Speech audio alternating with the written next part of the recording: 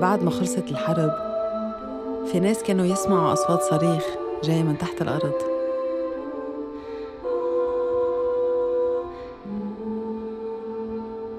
تحت الأرض في نفوس غير مطمئنة.